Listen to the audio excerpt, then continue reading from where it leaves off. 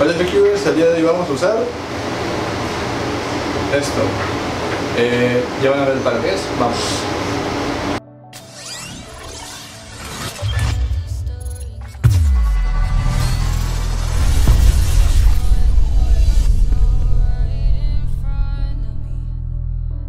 Bueno FQers, para el día de hoy lo que vamos a usar es un 2x2, un desarmador y un lubricante, en este caso va a ser Speedluber.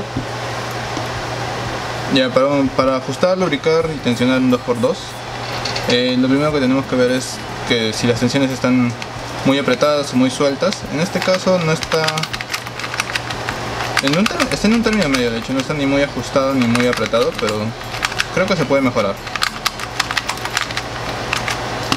Eh, a ver. Eh, la, las piezas exteriores son solamente esquinas obviamente, ya que es un 2x2, pero al igual que un 3x3 tiene aristas, solo que están por la parte de adentro. Vamos a desarmar el cubo para mostrárselas. Sacamos el tornillo con el resorte y sacamos esta pieza. Como ver, esta es la parte del centro esas son las piezas externas, que son las esquinas, y estas serían las aristas que les comenté, que van aquí, entre las esquinas. Para montarlo colocamos primero el centro, para que no, se, se sea más fácil. De ahí colocamos, igual que en 3x3, una arista, una esquina, la otra esquina, aristas,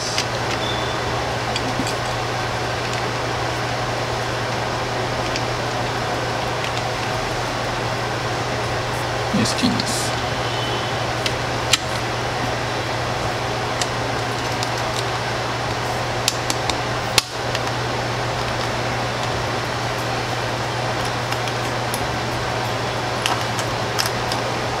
O una forma más sencilla mejor, que me acabo de acordar.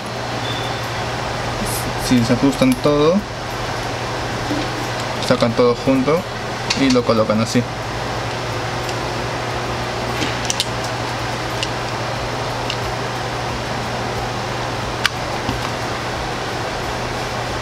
Y ahí nada más solamente tendrían que ajustar.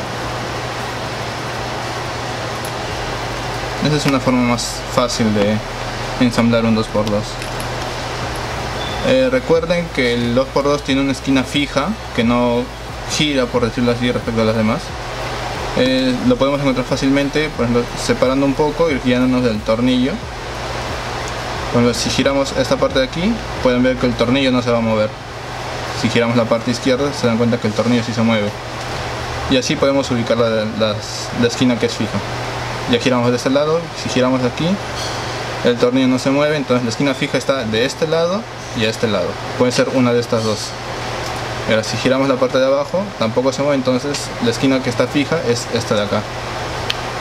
Se pueden se puede notar un poco la diferencia esta es una, una arista que se puede intercambiar, se puede sacar y aquí no. Ya que los tres centros están anclados. La esquina es fija y eso hace que las demás piezas giren libremente. Eh, bueno ya saben para ajustar solamente es un desarmador simple de soltar o apretar. Y para lubricar unas botas de Spillover. Pueden si gustan desmontar todo el cubo, limpiar pieza por pieza. En este caso, como no está sucio no lo voy a desmontar todo, pero ya vieron un poco cómo se puede hacer. Y al igual que para un 3x3, lo único que yo hago es echar unas gotas en las zonas de contacto, por ejemplo acá. Sobre todo en las, en las uniones de aristas. ¿Dónde está? Más sencillo. Por ejemplo, aquí no sé si se llega a notar bien. Hay una, ligera separación entre el centro y la arista. Yo le echaría ahí ya que es una zona donde hay fricción.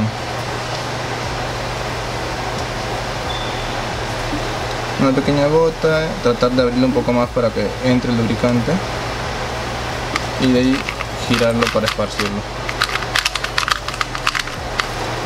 Si se encuentra es muy sencillo, el ensamblado tal vez es un poco más complicado con un 3x3 por la esquina fija y que las aristas van por dentro, pero no es tampoco demasiado complicado. Una vez que se entiende cómo es el proceso, se puede resolver sin, se puede tensionar y ajustar, lubricar todo sin mayor problema.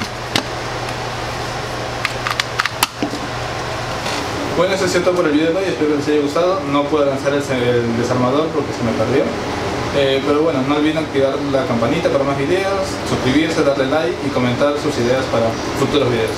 Oh, acá estaba. Bueno, nos vemos en el siguiente video. Bye.